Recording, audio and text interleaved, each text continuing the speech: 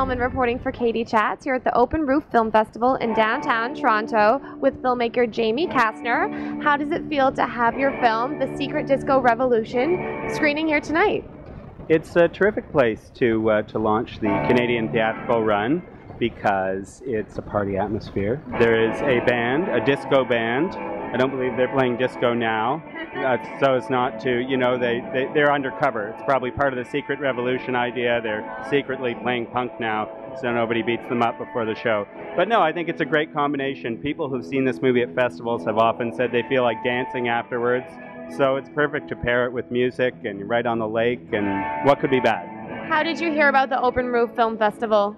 Well, to be perfect, I've actually just heard about it as, as a cool thing to go to. My co-producer on the film, uh, Diana Bourmet, is a longtime attendee of the festival, so she's I know she's been telling me about it for a year or something like that. And um, I guess you know you work in the business in Toronto, paths cross, and you yeah, that's how. How did the film come to be?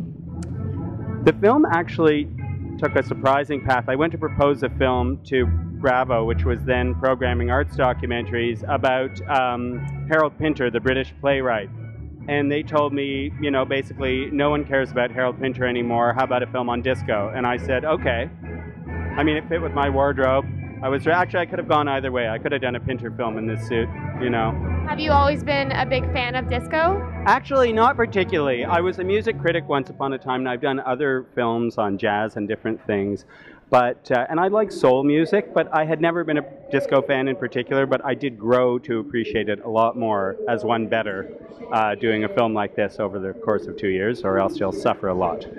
And you got so many great interviews in the film, including the Village People. How did you go about getting these interviews, and what were some of the most surprising things that you learned?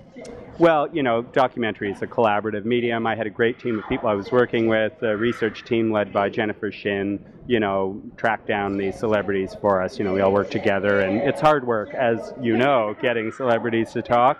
Uh, yes, so, but I knew you could not do a disco film without all the big stars, or as many of them as you could get your hands on. So we have Gloria Gaynor, The Village People, Kool and the Gang, etc., etc., Thelma Houston. It was a lot of fun.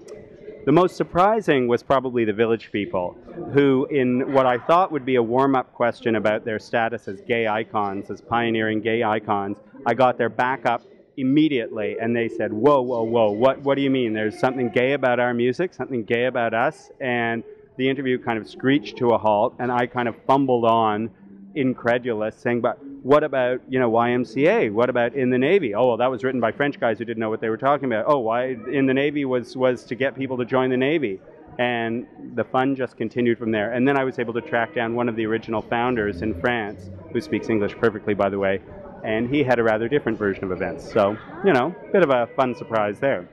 And can you comment a little bit on the cultural significance the disco revolution had in terms of many different groups of people? I think traditionally the disco era has been thought of as a time of flaky escapism, of dancing, partying, drugs, crazy fashion, etc. And it clearly was all of that.